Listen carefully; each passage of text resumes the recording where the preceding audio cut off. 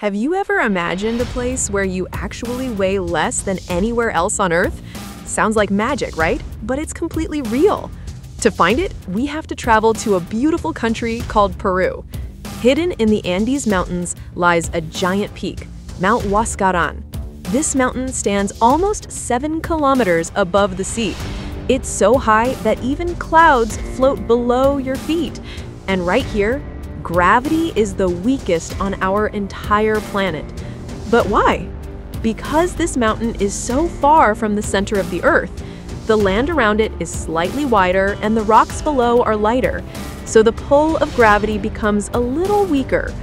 That means if you stand on top of Mount Huascaran, your weight will actually be less than anywhere else on Earth. Crazy, right? Now tell me in the comments, if you could visit this mountain and weigh less for real, would you try it once in your life?